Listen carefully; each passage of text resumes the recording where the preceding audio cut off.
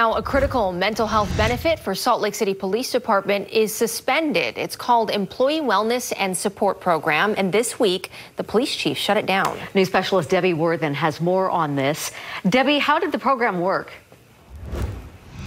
A big part of it is peer support. So I'm told that if an officer or another employee of the Salt Lake City Police Department was dealing with trauma from a call or some kind of mental health issue, they could reach out to a trained peer support mentor. Now, they say that was critical because those are people that they already trust and respect.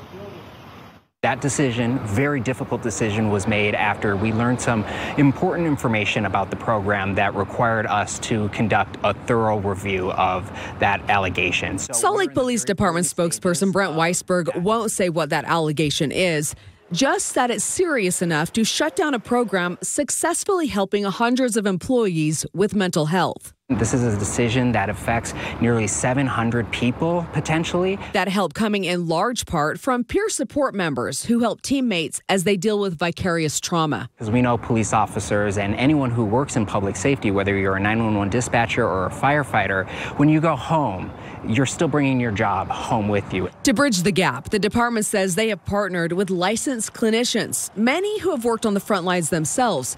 And for now, the department will cover the cost. The Fraternal Order of Police Capital City Lodge released this statement to KSL TV that reads in part While we support justice, we recognize there is a domino effect that affects members of our lodge and on a grander scale, the police department. They also say they will offer resources to Salt Lake police officers while the peer support program is being evaluated. Weisberg says the department knows the program is popular. This is a resource that is used throughout our department, and that's great to see. So that's why this was a very difficult decision for us. He says bringing it back is a top priority, but there's no timeline on when. We're still in the very early stages of gathering information, so it's hard to say.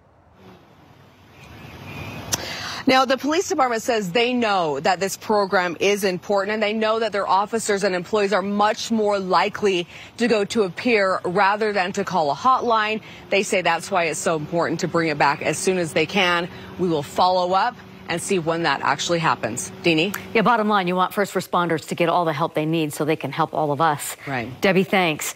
Salt Lake police officers and anyone else struggling with their mental health, at least for right now, can get help by calling or texting 988, and that line is staffed 24 7.